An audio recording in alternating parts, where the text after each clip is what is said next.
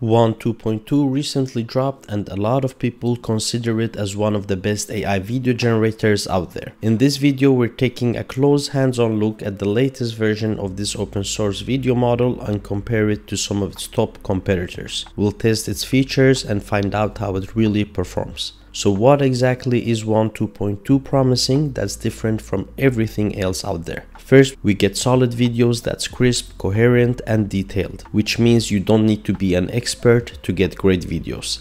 Second, and this is huge, Wan 2.2 has incredibly advanced prompt understanding and it has been trained on much more data. Third, they have baked in VFX capabilities. We're talking fire, smoke, particles, global illumination, all without needing special techniques or workarounds.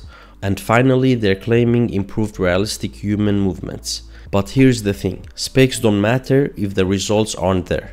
So I put together a comprehensive test including various categories, multiple prompts, and I'm going to show you everything. Let's start with the ultimate test, complex human motion. I used this exact prompt and compared the results with the best AI models like Veo 3 and Kling 2.1. Here is what Kling gave us. The movement is there, the man does a flip, but we don't see him spinning on his head. Overall, the character feels consistent and the video is in slow motion, which is what we tend to get most of the time with some of these models. The movement of both the character and the clothes turned out great. Moving on to Veo 3, here it does better with the overall scene composition, but the actual breakdancing moves, they don't look that good. We see that it has at least tried to follow our prompt and make the dancer spin on his head. The way the cloths move around as the character rotates and lands looks great. However, the arms and legs disappear and morph in new places. It looks bad. Remember that we started with a complex human motion and most models have a hard time with that. And here's Wan 2.2. In this video, the head spin actually looks like a real head spin. The video is not in slow motion. We see a ton of movement in this 5 second video. The body mechanics make sense, but the arms and hands feel a bit off. We also see that it has has followed our prompt and it hasn't tried to take any shortcuts. I like how it has generated spectators for our breakdancer. Lastly, the clothes aren't as good as Kling, but I like how his t-shirt drops down as he rotates his body. This feels more realistic. When you see them side by side, you notice that every model has its strengths and weaknesses, but Wan 2.2 wins this round and it did a better job than Veo 3 surprisingly. Next up, camera movements. Here I tried a crane shot where the camera moves from above and comes down, from a high angle to eye level. I chose a farmer's market with a lot of people. I got some really great videos for this example and here is the one from Kling AI. For this video, Kling gives us a nice view over the market with a lot of people. The camera starts from a high angle as we rode, but it tilts down and rotates subtly to the right, instead of coming down to eye level as I had wished. The camera motion is smooth and we got a pretty realistic video from Kling for this one. There is a person that appears out of nowhere towards the end of the video around the red stall, but besides that, the video we got is great. However, this test was about the camera motion we prompted and although it gave us a crane shot, the camera movement didn't really follow our prompt. Moving on to a better result, this one here is from Veo 3. Now this is what I mean by a crane shot moving from a high angle down to eye level. Isn't this a beautiful shot? So Veo 3 did really great here. We start from a frame that gives us an overview of the market and then it comes down lower and we see people passing by as we enter the eye level shot. The woman in the middle smiles and looks to the side as she approaches the camera in a fluid natural motion. The vegetables and flowers look realistic and maintain the same appearance as the camera comes down and we get a better look. The overall human motions in this video have been great and it's no wonder that Veo 3 is currently one of the best AI video models out there. Now let's see what we got from Wan 2.2.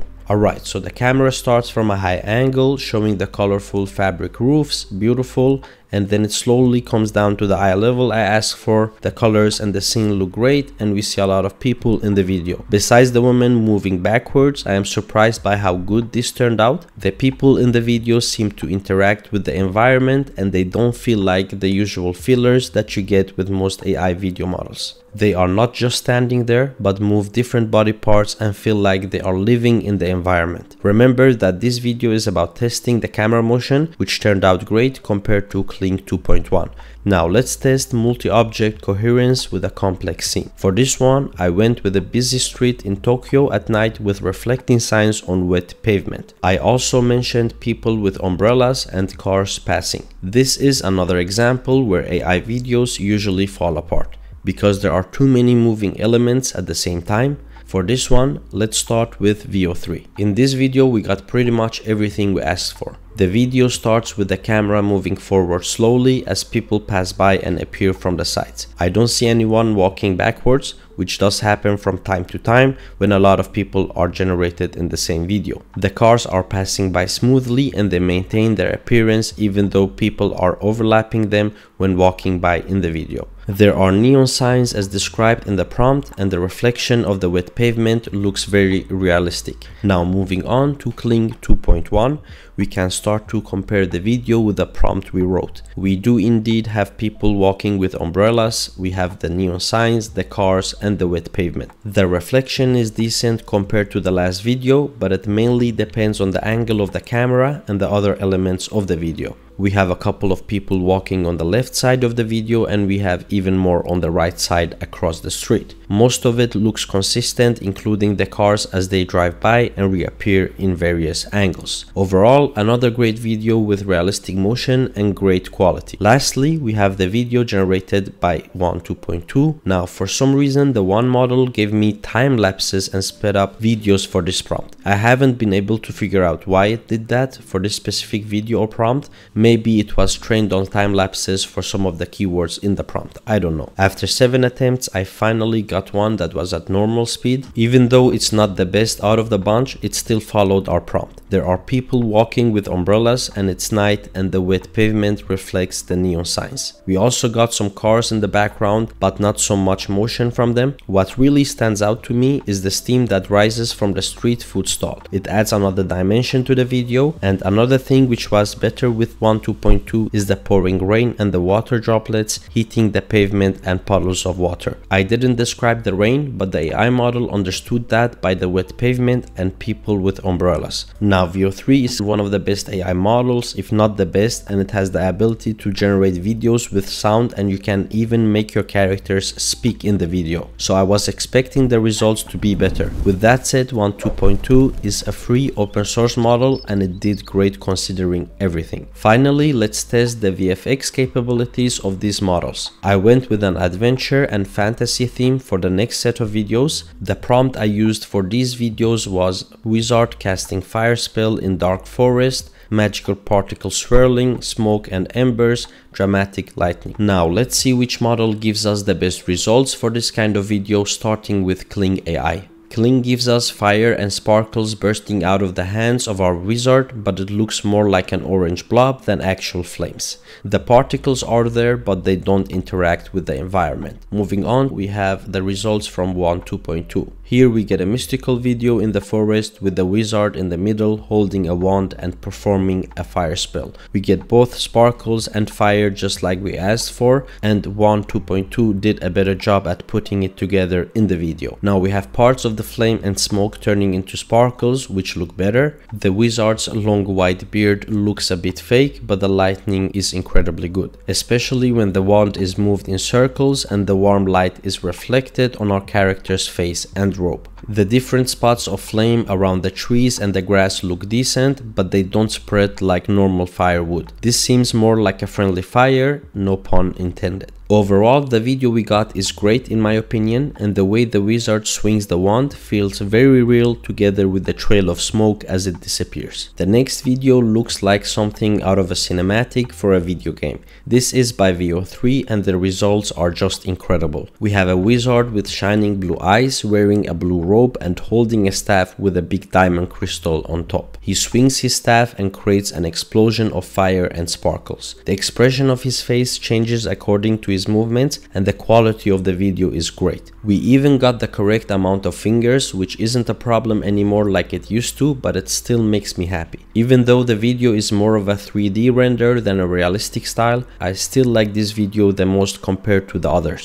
Now as a bonus I generated this one with audio. This is without any editing, it generated the video together with the audio. And if you didn't already know as I mentioned earlier, Veo 3 is capable of creating entire videos with dialogue and sound effects which gives creators endless possibilities when generating videos. And if you want to try out different AI video models and tools without multiple subscriptions, try OpenArt. This is where I generated all of these videos. They have a ton of different AI models and they are very quick to update and give access to any new ones that are released, including creating consistent characters, images, videos, and editors without multiple subscriptions, I strongly recommend OpenArt. I have included a link in the description below if you want to check it out. Okay, let's move on. So text to video was impressive, but image to video is where things get really interesting. This is where we can control exactly what we start with and see how each model executes our vision. Starting with this portrait, I use the prompt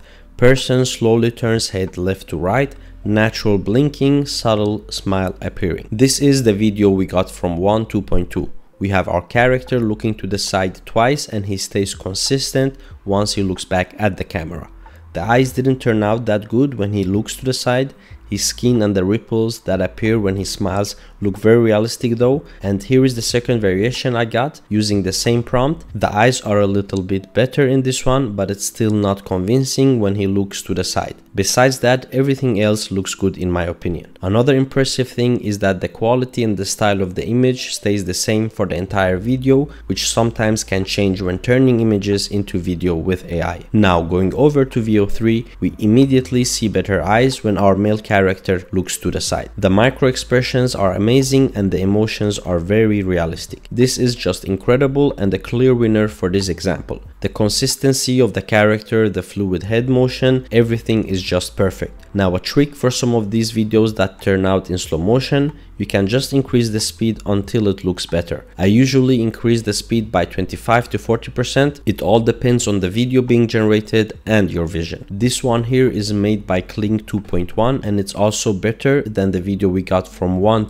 2.2 when the character looks to the side and overall it's more crisp and detailed. The character maintains the same appearance as he turns his head to the side and back. Now when I think about it, none of these gave us a video that followed our prompt all the way. And sometimes Sometimes when that happens, it means we need to rewrite our prompt and maybe give a better description. Here is another attempt using the Wan 2.2 and now I wrote person turns his head left then turns his head to the right and kept the rest of the prompt as it was. Now I got this instead, it's not as consistent as before but it is much better and it does follow our description instead of just turning his head to one side like the videos before. So remember to double check your prompts when something feels off before you give up. Another thing that's important when turning images into videos is the first frame that you upload and its quality. Now this image here was generated by Midjourney and even though Midjourney has its own upscaling options, there are better alternatives out there. One of my favorite upscaling methods is the refined upscaling that is available inside OpenArt. This maintains the same composition and appearance of the first image, but using AI it adds and improves the details which makes your images much better. Next, let's complete an action sequence. Let's start with this athlete mid jump and the prompt is complete the jumping motion landing gracefully his short flowing naturally. These are the results we got, starting with Kling AI. This one looks decent, the video is at a normal pace and our character jumps multiple times until he suddenly sits down on the sand. At the end we got some deformities and morphing. I don't really know what happened there, but the Kling AI model decided to give up there. The rest of the video until that point looks good.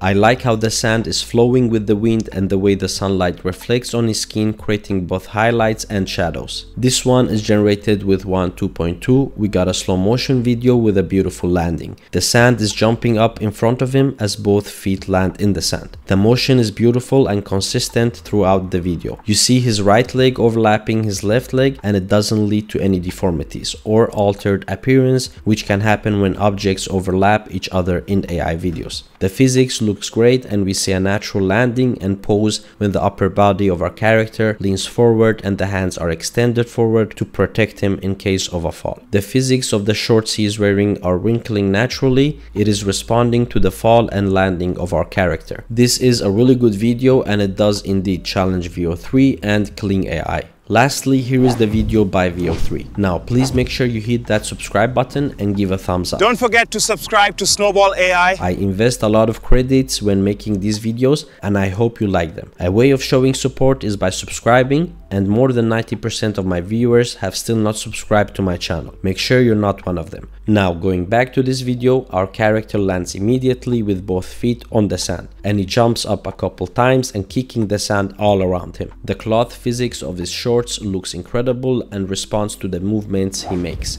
and he maintains the same appearance when raising his head and saying his line. Don't forget to subscribe to Snowball AI. What's worth mentioning is that it costs around 10 to 20 cents or 0 $0.2 to generate a video with Wan 2.2. The same video would cost 3 to $4 with Veo 3. This means Veo 3 costs around 15 to 30 times more compared to Wan. Now it's important to remember that Veo 3 is better overall and you can generate the video with audio and have the characters speak. With that said, if you're working on a project with multiple scenes, it's good to consider an open source model like Wan 2.2 for some of the scenes that doesn't require a more expensive AI model like Veo 3. And as I have shown you in this video, Wan does indeed do an incredible job and in some cases even better than the more expensive models. I always root for the open source models and I'm really happy to see such a great model made public and open sourced and available for everyone. Now all of these videos were created inside OpenArt as I mentioned and it has been my go-to platform for AI video testing.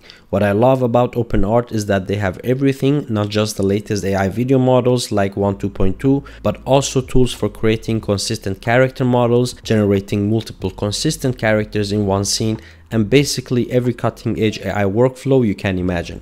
If you are looking for a great place to get access to all of these tools without juggling multiple subscriptions, I highly recommend checking out OpenArt. You can find the link in the description below. And if this video helps you understand the current state of AI video generation, make sure to subscribe because this technology is moving fast and I will be here to test every major update. What did you think of these results? Which model surprised you the most? Let me know in the comments below and thank you for watching. Bye bye.